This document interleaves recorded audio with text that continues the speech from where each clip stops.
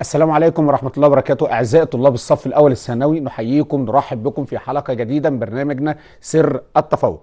حلقة النهاردة حلقة مميزة حلقة ليها طابع خاص جدا لأنها بتعتبر الحلقة الأولى في حلقات المراجعة بالنسبة لنا النهاردة. إن شاء الله ابتداء من النهاردة هتبقى معانا حلقة حلقة مراجعة استعدادا لامتحان مبادئ التفكير الفلسفي مبادئ التفكير العلمي. إن شاء الله اللي هيكون لقائنا معاه يوم السبت القادم. السبت القادم هتتقابلوا مع امتحان الترم. صحيح أنا عارف ان كنتوا مريتوا بتجربة قبل كده تجربة أو تدريب بشكل امتحان نوفمبر قبل كده سابق لينا لكن كان غرض فيه في المقام الأول إنك تتعرف على فكرة إنك إزاي تستخدم التاب إزاي تفتح الامتحان كل ده كان الغرض في المقام الأول لكن ما ننكرش إن امتحان نوفمبر كان له أهمية وطابع خاص مهم جدا لأنك بتتعرف من خلاله على شكل السؤال بشكل يعني متخصص أو داخل الفلسفة. أنت ببساطة في امتحان نوفمبر شفت سؤال مبادئ التفكير الفلسفي بيجي إزاي. طبعا خلال الترم كله من, من أول حلقة بدأنا فيها إحنا كنا بدأنا في شرح أجزاء المنهج وكنا بنركز دايما. أنا أفكر طلابنا لأن إحنا بقالنا فترة ما التقيناش. كنا بنركز دايما ان كل فكرة كل جزء في منهجنا لابد نتأكد من إن إحنا قمنا بالمهام المطلوبة. مهمتنا نفهم نطبق نتخذ موقف نقديا. أو بمعنى أصح نأيد أو نعارض وإحنا مقتنعين وإحنا معانا دليل. وشفنا كام حلقة في الآخر. آخر حلقاتنا كنا في آخر لقاءاتنا كنا بناخد حلقات مراجعة.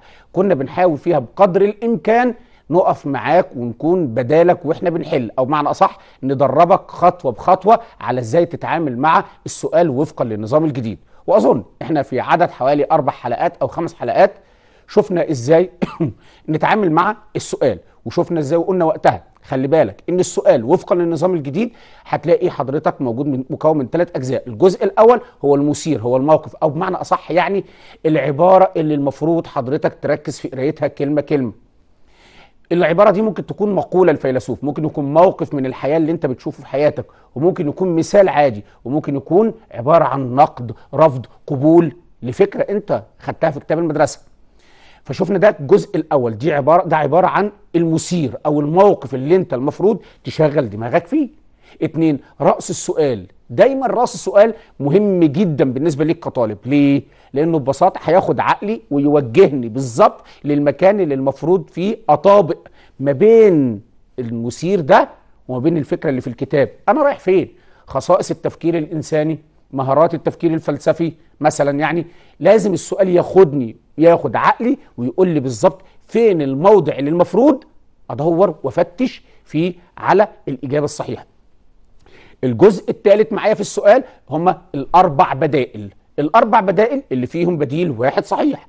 اللي المفروض إن المثير اللي فوق العبارة اللي فوق المقولة اللي فوق أو قد يكون بيت شعر أو حتى مثل شعبي وده قليل أول لما هنقابله أو ساعات يكون موقف حياتي بيعبر عن البديل ده. يعني لازم يكون في توافق كده أو تطابق يعني ما بين البديل الصحيح اللي أنت هتختاره وما بين رأس السؤال. طب ليه نتعب نفسنا؟ طب يلا بينا نشوف سؤال سؤال ونتقابل بشكل عملي ونشوف. بس خلي بالك إيقاعنا النهارده شوية هيبقى سريع شوية معلش لأن إحنا عايزين نعدي على أكبر قدر ممكن من الأسئلة نخلي حضرتك تشوفها معانا ونبدأ نحل مع بعض. يلا بينا نشوف أول سؤال وخلي بالك الأسئلة النهارده مع دور نوفمبر. نشوف مع بعض. بيقول لي كن متميزا فالعالم لم يعد في حاجة لمزيد من النسخ. خليك متميز. ده النص ده المثير اهو خلي بالك منه. كن متميزا. فالعالم لم يعد في حاجة لمزيد من النسخ.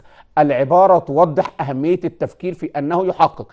استنى بقى شفت رأس السؤال عمل إيه؟ خد عقل حضرتك خد ذهنك وبيقول لك أنت بتتكلم في أهمية التفكير بالنسبة للإنسان. يعني مش رايح لأي حتة في تاني في المنهج. أنا هتكلم في الحتة دي في الجزء ده بس في أهمية التفكير بالنسبة للإنسان. يا ترى العبارة دي تتوافق أو بتدعو أو توضح أهمية التفكير في إنه بيحقق إيه؟ هل التفكير العبارة دي تعكس إن التفكير يحقق لي أنا كإنسان منفعة عملية للفرد ولا قدرة على التحليل والنقد ولا منفعة عامة لكل الأفراد ولا صحة نفسية؟ طبعا حد يقول لك مش صحة نفسية لأن مفيش تكيف مع متغيرات. مفيش منفعة عامة لأنه ما بيدربنيش على آليات وأسلوب اتخاذ القرار والحكم وحل المشكلات. طب هل قدرة على التحليل والنقد؟ أنا مش شايف إيجابيات وسلبيات في الموقف. لكن أنا بقول الإجابة الصحيحة هي المنفعة العملية للفرد. لأن ببساطة في المنفعة العملية للفرد أنت حضرتك هتخش مجال التنافس مجال النجاح. عايز تبقى شخص متميز عن الآخرين هتنافس الآخرين. التفكير هيساعدك على ده عشان تحقق ذاتك. بسرعة بسرعة شفنا وقفنا إزاي. عايز أقول لطلابنا النهارده حاجة مهمه. كل ما كان المنهج حاضر في ذهنك كل ما كنت هتقدر تختار بشكل أفضل. يعني مش عايز أقول حفظ لكن لابد إن المادة العلمية تكون حاضرة في ذهن حضرتك. لأن ده هيساعدك على الاختيار بسرعة وهيساعدك على الاختيار بشكل دقيق وهيساعدك على الاختيار بشكل صحيح. طيب نشوف سؤال تاني وفكرة تانية وزي ما بنقول كل مرة كل سؤال بفكرة جديدة بعبارة جديدة. طيب نشوف. يعد التلقيح الاصطناعي أحد مجالات الإنجاب. وساهم في حل العديد من المشكلات. يشير ذلك إلى الأسلوب الإيه؟ التلقيح الاصطناعي ده مجال جديد ظهر بس استخدم كأسلوب من أساليب التفكير اللي بيستخدمها الإنسان في حياتنا وساهم في حل كتير من المشكلات. يا ترى يا ترى هل ده يشير إلى الأسلوب العلمي ولا الديني ولا الخرافي ولا الفلسفي؟ أنا على طول ببساطة جدا شايف حد مش أسلوب ديني لأن ما استدلتش بيه على قدرة الله. مش أسلوب خرافي لأن ما رجعتش المشكلة لأسباب ساذجة وأسباب غير حقيقية. مش أسلوب فلسفي لأنه لم يعكس فكرة التأمل في مشكلة في الكون في الحياة في الإنسان في وجود الإنسان. هو صح صح هو الأسلوب العلمي. الإجابة الصحيحة الأسلوب العلمي لأنه أسلوب من التفكير منظم بستخدمه في حل مشكلاتي. وخلي بالك بقى أنا عايز أقول لك على حاجة خطيرة جدا. الأسلوب العلمي ده يقدر الإنسان العادي يستخدمه ويقدر العلماء يستخدموه والأطباء والمهندسين أي إنسان في الدنيا إذا اتدرب على الأسلوب العلمي قادر على استخدامه في حياته اليومية حتى في مشكلاته الحياتية. نشوف سؤال تاني وفكرة تانية مختلفة. تعالوا نشوف فكرة باحث ماجستير أو دكتوراه بيناقش رسالته فقادر يقنع محاوريه اللي بيحاوروه أو بيناقشوه بمعلوماته ومعارفه العامة. عنده معلوماته عنده معارفه عنده معرفة ملم بالموضوع وقادر يقنع اللي بيحاوروه بالمعلومات دي وبالمعارف اللي عنده وبصحتها طب هل الشخص ده يوصف بأنه مخطط لمستقبله ولا باحث عن العلل البعيدة ولا منظم الفكر ولا متذكر للماضي؟ خلي بالك خلي بالك. أنا فهمت كده على طول. مجرد ما قريت البدائل الاربعة أنا فهمت هو بيسألني فين. هو بيسألني في الحالات والمواقف التي تثير النشاط العقلي للإنسان. إحنا عندنا في شوية مواقف كده وحالات تثير العقل الإنساني. تستفزه يعني بالعامية كده. انت في بعض المواقف هتستفز ذهنك فتدفعك إلى التفكير. وإحنا قلنا ده ده تعريف التفكير بشكل عام. شيء مثير موقف عبارة مشكلة حاجات كتير جدا. طب الشخص ده الباحث ده هل أقدر أقول مخطط لمستقبله؟ لا طبعا. هل هو يبحث عن العلل البعيدة بحواره مع الآخرين؟ لا طبعا. طب هل هو متذكر لخبرة ماضية؟ لا طبعا. على على طول أنا قلت إنه منظم الفكر لأنه يمتلك المعرفة، يمتلك المعلومة من خلال الحوار قادر يقنع المحاورين بمعلوماته. شخص منظم التفكير يعرض معلوماته ما في ناس كتير جدا عندها معلومات لكنه مش منظم التفكير مش قادر يقنعك بيها مش قادر يوصلك إنك تصدقه لكن ده شخص منظم التفكير. سؤال تاني وفكرة تانية مختلفة ونشوف مع بعض إحنا بنتكلم عن استطاع علماء فرنسيين أنا عايز أقول إن دي أغلب الأسئلة دي بتاعت دور نوفمبر إحنا ما تعرضناش ليها قبل كده فعشان كده دي جديدة النهارده وبنحلها مع بعض. استطاع علماء فرنسيين صنع جلد بشري من خلايا جذعية فيما يعد ذلك سبق في علاج الحروق. يعبر ذلك عن أسلوب التفكير. استنى بقى إيه ده؟ أنا لمحت كده كلمة في الوسط. هو طبعا بيتكلموا في أساليب التفكير الأسلوب الناقد التفكير الناقد ولا الأسلوب الديني ولا الأسلوب الإبداعي ولا الأسلوب الفلسفي. بس طالب ذكي كده على طول قال لي أنا خدت بالي من كلمة مهمة جدا. قلت له فين؟ قال لي بص كده في نهاية الجملة استطاع علماء فرنسيين صنع جلد بشري من خلايا جذعية فيما يعد ذلك سبق. أيوه هي الكلمة دي. قال لي سبق دي يعني شيء جديد شيء إبداعي شيء ابتكاري ابتكروا. يبقى على طول هنا أقول ده أسلوب إبداعي صح؟ لأن هنا الفكرة دي العبارة دي الأسلوب ده صنع جلد من خلايا لا ده لا ده ده موضوع تاني خالص. ده وسبق كمان لا ده يبقى تفكير إبداعي على طول. طلاب حاضر ذهنها مركزة فاهمه الفرق بين الأسلوب الخرافي والأسلوب الديني الأسلوب العلمي والأسلوب الفلسفي والأسلوب الإبداعي. فببساطة مش محتاج يألف في الكتاب مش محتاج يقعد يضيع وقته. المادة العلمية حاضرة في ذهنه فهمها مستوعبها طبق. ده تطبيق على فكرة. أنا كده كأني بقول لحضرتك بص الموقف ده العلماء هنا استخدموا الأسلوب الإبداعي استخدموه. بدل ما بنكلمك في كلام نظري إحنا دايما الاتهام الأول للفلسفة إنها كلام نظري في نظري. لا أنا بقول لك مثال أهو. مثال بيقول إزاي إن إحنا الأساليب اللي موجودة في كتابنا بتستخدم بش... بشكل عملي وتؤدي النتائج وتؤدي لفائده البشرية والإنسان. طيب نشوف سؤال تاني وفكرة مختلفة. بص بقى بيقول لك من الأقوال المأثورة تأخير الإجابة تهذيب لا تعذيب. تأخر إجابتك على السؤال ده تهذيب لا تعذيب. يعني كأنه ببساطة عايز يقول لك إنك لما تأخر الإجابة قبل ما تقولها وتعديها على عقلك نسقتها رتبتها آه، قدمت الدليل عليها عرفت هتقولها إزاي. طيب هل الكلام ده معناه ببساطة جدا. تعبر المقولة السابقة. بص بقى خلي بالك. عن نقص المعلومات التأني في إصدار الحكم عدم الدقة التسرع في إصدار الحكم. على طول أنا عرفت. هو بيسألني في عوامل الوقوع في خطأ التفكير. يبقى المقولة السابقة وكأنها تعالج خطأ من أخطاء التفكير. بتعالج خطأ. بتعالج أنهي خطأ؟ التسرع آه التسرع أهو في إصدار الحكم. تأخير الإجابة تهذيب لا تعذيب. عديها على عقلك مررها على ذهنك اوزنها اختار ألفاظها.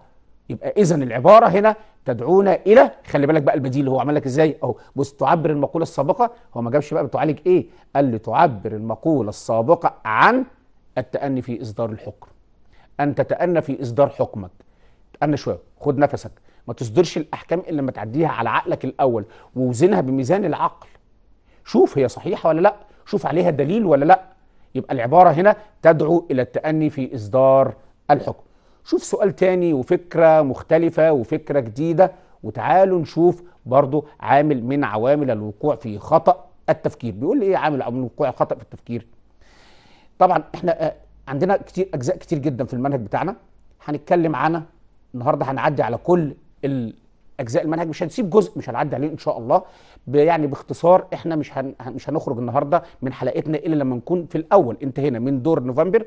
ثم بعد كده نبدأ ناخد معانا إن شاء الله أسئلة يمكن اتعرضنا لها في حلقات سابقة بحيث إن إحنا نبقى باستمرار حاضر معانا طلابنا.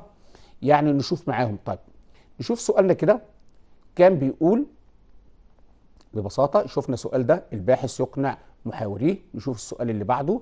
وقلنا في الجلد البشري نشوف سؤال تاني من جديد وفكرة مختلفة. آه تصديق الأخطاء خلي بالك هو برضو لسه واخدك في حتة عوامل الوقوع في خطأ التفكير لأنها مهمة جدا. وخلي بالك ونشوف برضو مثال عليها من الواقع. بقول لك إيه تصديق الأخطاء كونها تأتي من أشخاص لهم مكانتهم في المجتمع خلي بالك بقى ده رأس السؤال ده ده, ده, ده المثير. خلي بالك رأس السؤال ياخدني فين؟ تجسد المقولة السابقة أحد عوامل الوقوع في خطأ التفكير وهو يا ترى العبارة دي كون إني أصدق عبارة أو خبر لأنه جالي من شخص ذو يعني مكانة له مكانته في المجتمع سواء كبير السن أو أيا كان يعني. تصديقها كده من غير دليل. ده يعبر عن أنهي خطأ من أخطاء التفكير. تعالوا نشوف هو حاطط لي بدائل إيه. بيقول لي هل يعبر عن صعوبة المشكلة؟ هل يعبر عن نقص في المعلومات؟ هل يعبر عن التسرع في إصدار الحكم؟ ولا بيعبر عن الهيمنة والسيطرة. طبعا أنا مش شايف في العبارة صعوبة مشكلة. معلومات تفوق قدراتي العقليه لا. هل نقص المعلومات؟ أنا ما عنديش معلومات وما عنديش خبرة بالموضوع. برضو أنا مش شايفها. طب هل هنا في تسرع في إصدار الحكم؟ لا أنا ما تسرعتش. مقدمات غير كافية فاصدرت الحكم. لا. لكن أنا شايف العبارة هنا فيها هيمنة وسيطرة. خضوعي لهيمنة وسيطرة شخص تاني. عشان كده الإجابة الصحيحة المطلوبة هنا هي ال- الهيمنة والسيطرة. نشوف سؤال تاني وفكرة تانية. والمرة دي برضو نرجع لفكرة العوامل التي تثير أو الحالات التي تثير النشاط العقلي الإنساني. وتعالوا نشوف المرة دي جابها إزاي. موقف مختلف. إحنا عندنا خمس حالات تثير النشاط أربع حالات تثير النشاط العقلي الإنساني. نشوف المرة دي راح لأنهي حالة من الحالات الأربعة. بيقول حينما عرض التلفزيون الاحتفال بنصر أكتوبر المجيد وقف الأب يسترجع اقتحام الجنود لخط بارليف ودخول سيناء. لحظة مهيبة في حياته. مر بيها الأب وشافها فقعد يسترجع ده. طيب يشير الموقف السابق إلى نوع من النشاط العقلي وهو خلي بالك النشاط العقلي هنا يستفز العقل الانساني نشوف مع بعض هو بيتكلم عن مين هل يقصد التخطيط للمستقبل؟ هل ده تذكر للماضي؟ هل ده تنظيم الفكر؟ ولا ده حل المشكلة بيواجهها اولا أنا مش شايف مشكلة يتطلب حلها ولا شايف تنظيم للفكر مش بعرض أفكار متسلسلة مترتبة على بعضها ومش شايف ده تخطيط للمستقبل. أنا بخطط لمستقبلي المهني أو الدراسي داخل قسم إيه أدبي ولا علمي كلية إيه؟ أمال ده إيه؟ قال لي ببساطة ده تذكر للماضي. الأب استعرض ذكرياته مواقفه اللي شهدها بنفسه خلال اقتحام خط بارليف وتحرير أرض سيناء. ده موقف مهم جدا. شفت؟ شفت؟ إحنا عايزين بس نقول لك حاجة. لتاني مرة بقولها في الحلقة النهارده. الفلسفة ممكن جدا تكون سند ليك في الحياة الواقعية. إذا استوعبت جدا أفكارها واستوعبت مبادئها واستوعبت كل ما يعني ال- كل الأسس والمبادئ اللي بتدعو ليك إنك تتمسك بيها وخاصة فكرة النقد إعمال العقل إنك تشغل عقلك في كل اللي بتسمعه. طيب نشوف فكرة جديدة وموقف جديد. يقول نابليون بونابرت بص بقى اسمع نابليون بونابرت هيقول إيه معانا. قلب رجل الدولة يجب أن يكون في رأسه. طبعا نابليون بونابرت معروف جدا كشخصية تاريخية لها وزنها في تاريخ فرنسا وتاريخ العالم وفي تاريخ مصر كمان. فاسمع منه نصيحة أقرب إلى نصائح الفلاسفة. دعوة هي أقرب لدعوات الحكماء مش دعوة محارب. خلي بالك نابليون بونابرت آه كان راجل دولة لكنه كان محارب. لكن بص شوف دعوته هنا تقترب جدا من حكمة الفلاسفة.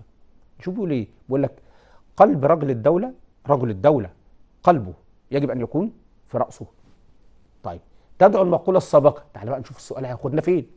تدعو المقولة السابقة إلى تجنب. خلي بالك بقى. تجنب إيه؟ وكأن العبارة دي بتقول لك إيه اللي تحت لازم تبعد عنه. إيه البديل اللي تحت لازم تتجنبه تتحاشاه ما تقعش فيه. التسرع في الحكم نقص المعلومات الهيمنة والسلطة تغليب العاطفة على العقل. على طول حد يقول لك أنا فهمتها ببساطة سهلة. تغليب العاطفة على العقل. استنى بس بس في الكتاب بيقول يعني أنا مش فاهم هو بيقول لي خلي بالك هو بيقول لك تجنب يعني كأن العبارة بتقول لك استبعد إيه؟ بيقول لي خلي قلبك في عقلك في راسك. يبقى كأنه بيقول لي ما تخليش العاطفة تسيطر على العقل. وكأن العاطفة هنا لا تسيطر على العقل دعوة نابليون اوعى العاطفه تسيطر على عقلك هتقع في الخطأ. طبعا نصيحة زي ما قلنا أقرب لدعوة الفلاسفة لكنها تصدر برضو من محارب. نشوف فكرة جديدة وسؤال جديد وسؤال مختلف ونشوف مع بعض إيه اللي هنسمعه النهارده. نقول تفكير لا يكف صاحبه عن الدهشة وإثارة التساؤلات حول كل ما يراه. خلي بالك هو حسمها لك. لما قال لك تفكير يبقى هو كان إنه بيكلمني على نمط وأسلوب من أساليب التفكير. حتى جه تحت في رأس السؤال المكتوب بالأزرق ده شوف بيقول لك إيه؟ يجسد ذلك أسلوب التفكير. أسلوب التفكير إيه؟ هل التجريبي؟ الفلسفي؟ الديني؟ الإبداعي؟ الله ده أنت كده بتو- أنت وقعتني في حيرة. العبارة كمان محتاجة شوية تفكير. أسلوب من التفكير. صاحبه مش هيبطل دهشة. والدهشة دايما تثير التساؤل. حول كل شيء يراه. طبعا أنا عايز أقول لحضرتك على حاجة. خلي بالك كده بقى أجزاء المنهج بتخدم بعضها. أجزاء المنهج بتخدم بعضها. آه طبعا أنت لو مذاكر المنهج كويس صحيح هو بيسألك في الأساليب صح؟ لكن لو رحت للموضوع الثالث أول صفحة تفتح كده على إيدك اليمين هتلاقي خصائص التفكير الفلسفي فيها الدهشة وإثارة التساؤل. وكأن خاصية بتميز التفكير الفلسفي إيه هي؟ إن أنا بمر بدهشة. وبعدها يتولد السؤال في الذهن. انت معايا؟ شفت؟ فعلى طول. افهم. يعني هنا بقى ربط الأجزاء المنهج بعضها. طالب اللي حاضر ذهنه هيعمل ده. ده أول خاصية من خصائص التفكير الفلسفي. الدهشة وإثارة التساؤل. الدهشة تولد في الذهن تساؤل. وطول الوقت هذا الشخص دايما يتأمل في كل يعني يبص في كل اللي حواليه. فيندهش فيثير تساؤل فيصل لإجابة. فده بقى موقفه في الحياة. يبقى الإجابة هنا هو يجسد ذلك أسلوب التفكير الفلسفي. أسلوب التفكير الإيه؟ الفلسفي. دي الأساليب معانا. وخلي بالك زي ما قلت لك كده أنت هتلاحظ دايما إنك لو ذهنك حاضر بكل أجزاء المنهج هتساعدك وهتأكد لك المعلومة وهتأكد لك الاختيار لو أنت ترددت شوية. طيب يقول المثل الألماني يعني نوع من أنواع كده تراث إنساني الأمثال الشعبية دي تراث إنساني. ممكن نروح من حضارة لحضارة ونستخدمه في كل الحضارات وكل الشعوب. يقلل الناس من قيمة ما لا يفهمونه. الناس دايما تقلل من قيمة الشيء اللي مش فاهماه. أنا مش فاهمه ما أعرفوش. فيبقى بالنسبة لي قد لا يكون له أي قيمة. طيب يعكس المثل السابق. شوف بقى راس السؤال هياخدنا فين؟ تعال نمشي معاه واحدة واحدة. يعكس المثل السابق. أحد عوامل الوقوع في خطأ التفكير وهي. آه لما تقلل من قيمة شيء أنت مش فاهمه مش فاهمه. ده معناه إنك عندك تسرع في الحكم ولا معناه إن عندك صعوبة في التعامل مع المشكلة دي ولا معناه تغليب العاطفة على العقل ولا معناه القابلية للاستهواء؟ أنت ما تعرفش مش فاهم الموضوع مش عارفه. الموضوع اللي بتتكلم فيه ده أنت مش عارفه فبالتالي بتقلل من قيمته تستهون بيه. بت يعني بتعتبره كده حاجة ليس لها قيمة. طب ده إيه؟ معناها ببساطة. ده معناه إن عندك صعوبة مشكلة. لأن صعوبة المشكلة بتيجي أنت قدراتك العقلية مش فاهم. أنت مش مدرك للموضوع أنت مش فاهم الموضوع. يبقى عندك صعوبة في التعامل مع هذا الموضوع. يبقى الإجابة الصحيحة هي صعوبة المشكلة. يقلل الناس من قيمة ما لا يفهمونه. مثل الماني يعكس صعوبة المشكلة بالنسبة للإنسان ده اللي مش فاهمها. عشان كده قلل من قيمتها. نشوف سؤال تاني وفكرة مختلفة ونشوف سؤال برضه نشوف مع بعض كده. الإنسان السوي عليه أن يتجنب الصراع والتصادم مع الغير. على الإنسان السوي إنه يتجنب حالة الصراع والتصادم مع الغير. لازم ده. طيب تعالوا نشوف كده رأس السؤال عايز ياخدني فين. العبارة عامة قوي واسعة قوي. لكن يجي رأس السؤال يخصصها يجي راس السؤال يقول لي أنا بستخدمها فين؟ يجي راس السؤال يقول لي ركز ذهنك معايا في حتة معينة. طب نشوف كده رأس السؤال اللي مكتوبة بالأزرق بتقول إيه؟ بيقول نستنتج من الموقف السابق أن عملية التفكير تحقق هتحقق إيه؟ العبارة دي رايحت لأن إن أهمية التفكير هل انه يحقق القدرة على التحليل والنقد؟ هل العبارة تعكس إن التفكير يحقق الإنسان منفعة العملية للفرد؟ هل يحقق المنفعة العامة لكل البشر؟ ولا بيحقق الصحة النفسية للفرد. أيوه هو دي الإجابة الصحيحة. التفكير دايما بيقلل من الضغوط النفسية. التفكير على عكس مثلا بعض الشعوب إحنا بس مش عايزين نقول إن مثلا عندنا في ثقافتنا العامة أو الشعبية يعني دايما نستخدم كلمة التفكير شوية بمرادف ساعات للغم والهم والأمراض كتير. لكن شوف هنا لا بيقول لك لا بالعكس. أنا عايز أقول لك إن التفكير هيساعدك على إنك تحقق صحتك النفسية. فتتجنب الصراع تتجنب التصادم مع الغير. مش هتعيش حياتك طول الوقت في حالة صراع وتصادم مع الغير لكن هتعيش في حالة تكيف دائما. تحاول تتكيف مع كل شيء مع البشر مع التكنولوجيا الحديثة مع العلم مع المواقف المتغيرة مع أنت لازم تتكيف. طول الوقت الإنسان يتكيف. طول ما عنده رغبات هو عايز يحققها وطول ما في صعوبات في الواقع ما قداموش بديل تاني غير إنه يتكيف. رغبة أرغب فيها وصعوبة في الواقع. لازم أتكيف وأحاول أتغلب عليها. لكن حالة الصراع والتصادم لا في صحة نفسية. نشوف سؤال تاني ونروح لكلود برنار. كلود برنار أحد الأسماء الهامة جدا في تاريخ العلم وتاريخ فلسفة العلم على وجه الخصوص. له كتاب مهم جدا في الطب التجريبي. تعالوا نشوف كلود برنار بيتكلم عن إيه وعبارته راحت لفين. بيقول الحوادث ليست شيئا في حد ذاتها. خلي بالك الحادثه هنا الواقعه الملاحظة الحاجات اللي انت بتشوفها بعينك دي. خلي بالك الحوادث ده مصطلح واسع جدا. ممكن تكون ملاحظات اللي بشوفها بعينيا ممكن تكون المواقف اللي بتعدي عليا في حياتي ممكن تكون خبراتي. طيب هو بيقول إيه؟ الحوادث ليست شيئا في حد ذاتها فلا قيمة لها إلا بالفكرة التي تربط بينها. الفرد هو عايز يقول إيه؟ أنت هتشوف ملاحظات كتير جدا تعدي على عينيك. فتيجي فكرة كده في عقلك تربط ما بينها. وتخرج كده بفكرة رابطة بين الأجزاء دي كلها. استنى أروح لرأس السؤال الأول وأفهم أنا رايح فين. يعبر القول السابق عن أحد خصائص التفكير الإنساني وهي إن التفكير الإنساني من خصائصه تعبير لفظي رمزي ولا نشاط يعتمد على الإحساس ولا إدراك للقوانين العامة ولا يرتبط بالنشاط العملي. خلي بالك بقى على طول. أنت قلت لي حوادث ملاحظات وقائع.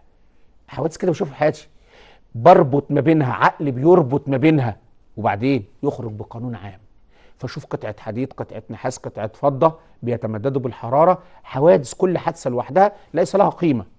إلا لما تيجي فكرة من ذهني فتقول كلهم معادن كلهم بيتمددوا بالحرارة فأخرج بقانون إن كل أو جميع المعادن تتمدد بالحرارة. هو ده اللي أنا عايز أقوله. هو ده ببساطة اللي عايز يقوله كلود برنار عايز يقول إن الحادثة وحادثة وحادثة حتة حديد حتة نحاس حتة فضة ليس لها أي قيمة إلا لما يجي عقلك ويربط بين كل دول ويخرج بقانون عام. بقانون عام. طيب شفنا كلود برنار فكرة تانية وسؤال تاني مختلف ونشوف مع بعض. مع بداية كل عام تنتشر البرامج التي تتحدث عن توقعات العام عن طريق الأبراج وألعاب الورق. ده بنشوفه كتير جدا يعني. يقول لك توقعات العام القادم انت هتعيس انت سعيد انت هتجمال انت هتتجوز انت كتير بنشوف ده كتير طبعا منتشر جدا على مواقع التواصل الاجتماعي ونشوفه بعيننا وفي ناس للأسف يعني للأسف بتصدق الكلام ده وتبني مواقفها وحياتها على الكلام ده. طب تعالوا نشوف هو واخدني فين. راس السؤال واخدني فين. ولو إن في كتير من طلابنا أكيد عرفوا هو واخدنا فين. يجسد ذلك أسلوب التفكير الخرافي ولا العلمي ولا الديني ولا الإبداعي؟ ها أسلوب خرافي أسلوب خرافي. أيوه طبعا لأنه طبعا هنا بيعتمد على الأبراج وألعاب الورق والكوتشينة وحاجات كتير جدا بقى. أظن ولادنا ومجتمعنا يعرفها كتير وفي ناس مش عايزين نقول يعني عددهم كتير في مجتمعنا للأسف. بيصدقوا الكلام ده وده سر أو سبب من أسباب أنا مش عايز أقول يعني تخلف لكن غياب الوعي. ما عندناش وعي لما بنلجأ للكلام ده لأن البديل للأسلوب الخرافي دايما وإحنا اتكلمنا ده أظن في حلقة الأساليب قلنا إن دايما الأسلوب الذي يقاوم الأسلوب الخرافي في التفكير هو الأسلوب العلمي. أسلوب التفكير المنظم الذي يعتمد على ملاحظات وتجارب واختبار وبرهان ودقة آه الاختبار والتجربة. الأسلوب العلمي على نقيض تماما من الأسلوب الخرافي. نشوف طبعا عايزين إحنا قلنا طبعا النهارده هنحاول بقدر الإمكان نعدي على كل أجزاء منهجنا بقدر الإمكان بحيث ما نسيبش جزء ما نتعرضش ليه النهارده. إن شاء الله طبعا يعني أرجو إن النهارده إن الحلقة بتاعتنا تكون غطت كل أجزاء منهجنا وده اللي هنشوفه مع بعض لما نستكمل. إحنا دلوقتي يا دوب بدأنا نخلص أجزاء كتير من اختبار نوفمبر. اختبار نوفمبر شوية بياخد آه كان جزء تدريبي جزء تجريبي. كان الغرض منه زي ما قلنا قبل كده إنك تتعرف على شكل السؤال وده اللي حصل. النهارده استعرضناه مع بعض شفنا إجاباته. كتير من الطلاب كانت بتسأل عن بعض الأسئلة اللي فيه لأن كان في خلاف بعض الأوقات على بعض إجاباته. يمكن النهارده في حلقتنا بدأنا بيه وأنا أصريت على نبدأ بيه لسبب بس إن أنا أحسن مع طلابنا شكل الإجابة لأن كان في كتير في امتحان دور نوفمبر. بعض الناس كان عندها بعض يعني التردد ما بين الإجابتين. خلصناه ونبدأ نشوف النهارده هنكمل بعد دور نوفمبر مجموعة من الأسئلة الجديد الجديدة واللي اتقابلنا ليها قبل كده لكن في محاولة يعني إن إحنا نعدي على ذهن حضرتك وعلى عين حضرتك النهارده أكبر قدر ممكن من الأسئلة. نشوف السؤال الجديد. أخطأ الطبيب في علاج المريض لأنه لم يسعى لمعرفة طبيعة وأسباب المرض. خلي بالك السؤال مختلف وفي فكرة جديدة. إيه ده؟ الطبيب أخطأ. في علاج المريض. ليه؟ إيه سبب خطأه؟ قال لي لأنه ما حاولش يعرف طبيعة وأسباب المرض. شوف بقى رأس السؤال اقرأ كويس عشان في طلاب بتتسرع وترجع تقول لك ما أنا ما خدتش بالي. خلي بالك في بعض العبارات كده في رأس السؤال لازم تقراها. يعني يناقض يعارض يصوب يقاوم. العبارات دي طلابنا بيعدوا عليهم بيعدوا عليها كده. يعني هو بيقرأ السؤال يقرأ النص فوق يروح نازل على طول للاختيارات. لا نصيحتي ليك اقف. لازم تقرأ السؤال كويس جدا لأنه ساعات يقول لك يعارض يناقض يخالف. ده مثلا بص بيقول إيه؟ عشان تشوف الفكرة جديدة. يمكن تصويب الخطأ الذي وقع فيه الطبيب من خلال أنت مطلوب منك تقول لي أنهي بديل من دول هيصحح الخطأ اللي وقع فيه الطبيب. تعالوا نشوف هو الطبيب خطأ فين؟ ما حاولش يعرف طبيعة وأسباب المرض. طيب هل معنى كده إن الطبيب ده ممكن نصوب له الخطأ ده فنقول له الدقة في استخدام اللغة استخدم اللغة بشكل دقيق فما تقعش في الخطأ ده؟ ولا هنقول له لازم يكون عندك وفرة ودقة المعلومات؟ ولا هنقول له خلي عندك تغليب العقل على العاطفة عشان ما تقعش في الخطأ ده؟ ولا هنقول له تجنب الاستهواء؟ استنى بقى السؤال برضو شوية لسه في حتة كده. يعني الطبيب وقع في خطأ لأنه ما حاولش يعرف أسباب المرض؟ آه طب على طول يبقى أنا أقول له إيه؟ ما عرفش أسباب المرض ما عرفش طبيعة المرض. يبقى ما عندوش معلومات أو معلوماته مش دقيقة عن المريض وعن المرض وعن طبيعة المرض ده وعن أسبابه. آه يبقى البديل الصح فين؟ نشوف مع بعض. بديل رقم اتنين وفره ودقة المعلومات هو هو العامل أو الاختيار الذي من الممكن أن يصوب الخطأ الذي وقع فيه الطبيب. خلي بالك شفت إحنا قلناها إزاي؟ يبقى وفره ودقة المعلومات خليك معايا أهو. وفره ودقة المعلومات هي الحاجة اللي ممكن تصوب الخطأ الذي وقع فيه الطبيب. شفت أنا صوبت إزاي؟ هو طالب منك إن تعدل الموقف ده إزاي؟ لأن الفلسفة مش مطلوب منك إنك تحفظ. المفروض منك إنك تفهم وتستوعب. وده اللي إحنا كنا بنقوله في حلقاتنا دايما. افهم طبق واتخذ موقف نقدي. العوامل الوقوع في الخطأ أنت كطالب لازم تبقى عارف إذا اتطلب منك إنك تصححها تصوبها تنقدها ترفضها. تقدم البديل الصحيح لازم يكون ده حاضر في ذهنك. إذا ما اتعلمتش فلسفة بالأسلوب ده يبقى أنا آسف ما تعلمش فلسفة. مش لازم بس تبقى متلقي دائما لقصص وحكايات الفلاسفة لازم تشغل عقلك. فأنا جبت لك عوامل الوقوع في خطأ التفكير لكن كمان لازم أنت تتعلم إزاي تصوبها إزاي تعدلها إزاي تعالجها إزاي تقاومها. ده اللي إحنا شفناه في السؤال اللي فات. نشوف سؤال جديد وفكرة جديدة. القول المأثور من كثر لغطه كثر غلطه. اقرأ كويس. اللي لغطه كتير كلامه كتير غلطه كتير. خلينا نقولها بالعامية المصرية كده. ماشي؟ أهو تاني. اللي كلامه كتير هيغلط كتير. تاني تاني. كثرة الكلام هنا هتؤدي لوقوعك في الخطأ. طيب القول السابق يشير إلى ضرورة مراعاة إيه؟ كأن العبارة دي بتقول لك لو سمحت. خلي بالك احذر. جرس انذار. لابد انك تراعي إيه؟ تاخد بالك من إيه؟ خلي بالك. أنا هنا خلي بالك. هو بيقول لك مراعاة إيه؟ ما قالكش بتعكس ولا بتجسد ولا بتشير. طيب. تغليب العقل على العاطفة الدقة في استخدام اللغة استبعاد الرغبات الذاتية استقلالية الرأي والفكر. طبعا حد هيقول لك انت واخد بالك من البدائل؟ البدائل مش عوامل الوقوع في الخطأ. البدائل مش عوامل الوقوع في الخطأ التفكير. البدائل هي سبل وطرق إزاي تتغلب بيها على العوامل دي. طب هو عايز بقى واحد من العوامل دي يعالج الموقف ده.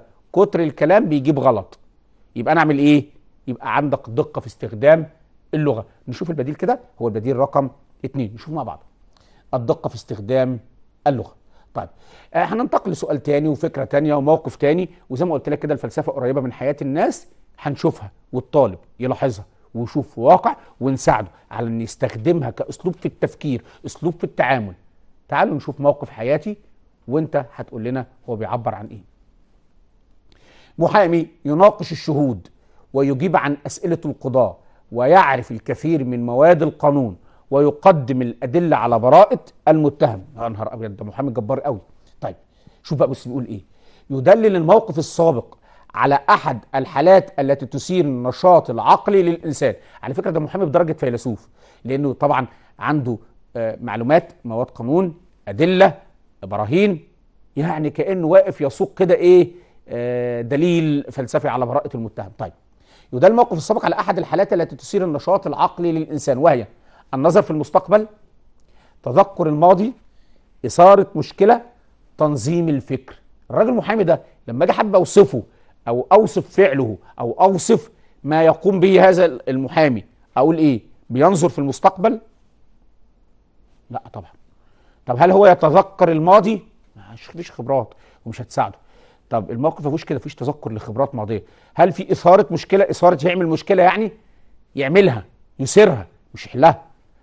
ولا الراجل ده أقدر أوصفه بإنه شخص منظم الفكر تنظيم الفكر؟ أيوه بالظبط. ليه؟ يمتلك معلومات. قوانين وبيقدمها ويستخدمها عشان يدلل بيها على براءة المتهم. بالظبط. المحامي هنا منظم التفكير. ده محامي بدرجة فيلسوف. طيب نشوف سؤال تاني وفكرة مختلفة ونروح لأديب ميخائيل نعمة أحد الأدباء العرب في الوقت المعاصر أو في حياتنا المعاصرة. صحيح توفاه الله لكن من الأقلام المهمة جدا في تاريخ الفلسفة الثقافة العربية والحضارة العربية المعاصرة. نشوف بيقول إيه؟ من كان يبصر من كان لا يبصر خلي بالك شفت أنا كنت هقع أنا كمان في خطأ أهو اللغة. من كان لا يبصر غير محاسنه ومساوئ غيره فالضرير خيرا منه. نمشي واحدة واحدة. الضرير يعني الكفيف اللي ما بيشوفش. فبقول إيه؟ اللي ما بيشوفش إلا مميزاته هو وعيوب غيره الكفيف أحسن منه أفضل منه. الكفيف معذور. الكفيف معذور لأنه كفيف. لكن أنت عندك عقل وعندك بصر ومش شايف غير مميزاتك. وغايب يعني شايف مميزاتك أنت وطول الوقت شايف مساوئ غيرك عيوب غيرك. طب تعال نشوف السؤال هياخدنا فين؟ أصل برضه السؤال شوية ممكن يحتمل أكتر من كذا مكان. نشوف هو عايز ياخدني فين. يعكس القول السابق أحد عوامل الوقوع في خطأ التفكير وهي خلي بالك بقى القابلية للاستهواء سرعة التصديق ولا أي كلام اتقال لي مش شايفه. الهيمنة والسيطرة الخضوع لأصحاب النفوذ أنا مش شايفه. التسرع في الحكم وإصدار أحكام دون أساس متين ودون مقدمات سليمة أنا مش شايفه برضه. طيب هل هو التعصب والتطرف؟ اقف واستنى. هو ده البديل الصحيح. هو ده البديل الصحيح. ميخائيل نعمة بيتكلم عن شخص متعصب متطرف في نظرته عنده استعلاء نظرة استعلائية كده. دايما شايف محاسنه هو. ودايما مش شايف محاسن الآخرين بالعكس ده شايف مساوئهم. ده شخص لديه تعصب وتطرف. خلي بالك بقى عكسه تماما لو أنتوا فاكرين معايا بسرعة جدا لما كنا بنقول آه، مقولة الإمام الشافعي رأي صواب يحتمل الخطأ. أنا رأيي صواب بس جايز يحتمل الخطأ ورأي غير خطأ من وجهة نظري لكنه يحتمل الصواب فبالتالي مفيش تعصب. أنا رأيي أدرى بيه عندي أدلة عليه عندي براهين أقدر أدافع عنه فعشان كده أرى صواب ولكن يحتمل الخطأ. ورأي غيري من وجهة نظري خطأ لأني معرفش مبرراته وأدلته من وجهة نظري لكن قد يكون صواب إذا عرض علي الشخص ده أدلة وأقنعتني. ده موقف مختلف تماما. الشخص اللي بيتكلم عنه الإمام الشافعي أو الموقف اللي بيتكلم عنه الإمام الشافعي عكس تماما ميخائيل نعمة. نشوف مع بعض سؤال تاني وفكرة تانية ونشوف فكرة مختلفة شوية. من خلال النظر في عدة حالات مختلفة من النباتات أمكن التوصل إلى العوامل التي تساعد على نموه وحصرها في وجود تربة وماء وهواء وضوء. خلي بالك أنا م- بصيت كده لاحظت مش هقول أنا مين طبعا شخص معين بيستخدم أسلوب معين من أساليب التفكير في النبات وبدأت أقول أوصل وأحصر إن العوامل اللي بتساعد في نمو النبات وجود تربة وجود ماء وجود هواء وجود ضوء. تعال نشوف رأس السؤال بيقول إيه. يطبق الموقف السابق خلي بالك بقى أحد أساليب التفكير وهو الأسلوب الديني ولا الإبداعي ولا العلمي ولا الخرافي. خلي بالك أنا فاكر حد يقول لي كده أنا فاكر في كتاب مدرسه كان في مثالين في الأسلوب العلمي هو أسلوب علمي طبعا اتقال لي نفس الفكرة كانت نفس الفكرة قريبة. يعني المهندس ما يقدرش يعني في أمثلة كتير جدا بيقول لك إن العلماء يقدروا يستخدموا الأسلوب ده في التعبير أو في حل مشكلاتهم والإنسان العادي. طب ما ده رجل عالم عالم نبات. نظر في النباتات نظر في. عدة نباتات قدر من خلال الأسلوب المنظم في التفكير إنه يوصل لعوامل نمو النبات ولذلك الأسلوب هو الأسلوب العلمي. نشوف سؤال تاني. الأسئلة النهارده كتير منها بيدور حوالين يعني آه العوامل الوقوع خطا التفكير. توجيه محقق الشرطة الاتهام تجاه شخص معين دون التأكد من صحة وسلامة الأدلة الموجهة ضده وإنما لأنه سبق وأتهم في قضايا سابقة. يصنف الموقف السابق على إنه إيه؟ هيمنة وسيطرة عدم دقة في استخدام اللغة قابلية للاستهواء تأني في إصدار الحكم. خلي بالك محقق شرطة وجه الاتهام لشخص معين لمتهم لمجرد بس إنه سبق واتهم قبل كده في اتهامات. طب القضية الجديدة ما ممكن يكون ارتكب قضية قبل كده لكنه الجديدة دي لأ. القضية دي ما ارتكبهاش لأ. هنا المحقق هنا عنده وقع في خطأ في عامل من عوامل وقوع الخطأ في التفكير وهو القابلية للاستهواء سرعة التصديق بلا أدلة بلا براهين. صحيح أنت عندك أدلة على ارتكابه لجرائم سابقة لكن الموقف ده مفيش دليل. عشان كده عنده قابلية للاستهواء. خلصت حلقتنا بسرعة جدا. استعرضنا فيها مجموعة من الأسئلة. عدينا على أجزاء كتيرة من المنهج. لسه في أسئلة تانية. مختلفة صياغات مختلفة وفي أجزاء من المنهج هنتعرض لها تاني إن شاء الله. لينا حلقة تاني حلقة مراجعة مع بعض نستعرض بيها الأسئلة دي الأفكار الجديدة والصيغ الجديدة اللي هتغطي باقي أجزاء منهجنا أو تعدي على نفس الأجزاء دي تاني لكن بصيغ مختلفة. على وعد آخر بلقاء في حلقة قادمة تكون إضافة ليكم بمجموعة من الأسئلة المميزة. السلام عليكم ورحمة الله وبركاته.